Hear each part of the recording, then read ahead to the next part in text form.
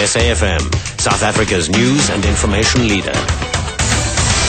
Thank you, Nancy. Top stories at the SAWA AfriForum describes its victory against Malema and South Africa's employment conditions remain weak. Good afternoon. Minority rights lobby group AfriForum has described its victory against ANC Youth League leader Julius Malema as a victory for South Africa. The group won its civil case in the Equality Court. Judge Colin Lamont ruled that the words Dubula Ibunu or kill the Boer constituted hate speech and have no place in a democratic South Africa. AfriForum says it feels vindicated. Spokesperson Kallie Kriel. This is not simply just a victory, uh, or can be simplified as a victory of AfriForum over Julius Malema. This is a victory for the concept of mutual respect and recognition amongst communities over the culture of disrespect that Julius Malema is sowing in our country. And it's also a victory for justice over injustice. So our message to Julius Malema is um, let's unite the country, um, stop using this, abide by the court's ruling.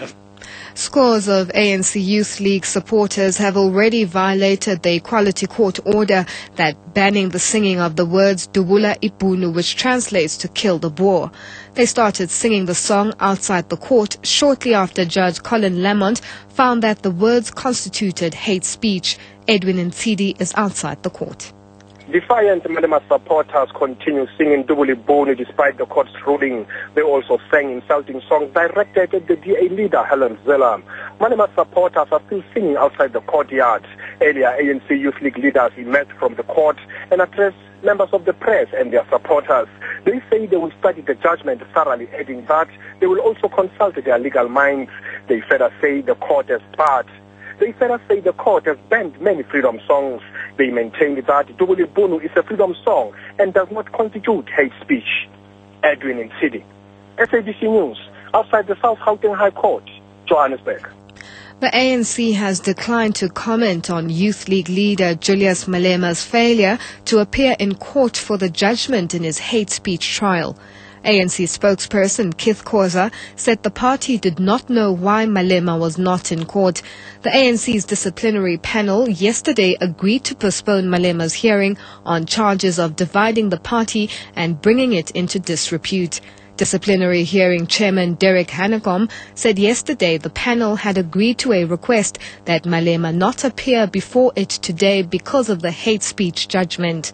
A small group gathered outside the court in support of the embattled youth leader.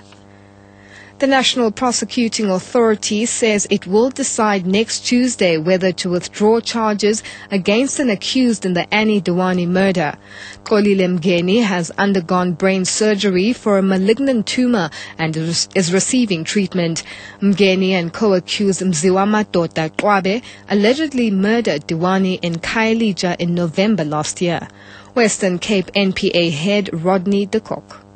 On the 20th of, of September, uh, we will deal with all the issues relating to the matter, including the behalf of any of the accused uh, that are before the court uh, currently.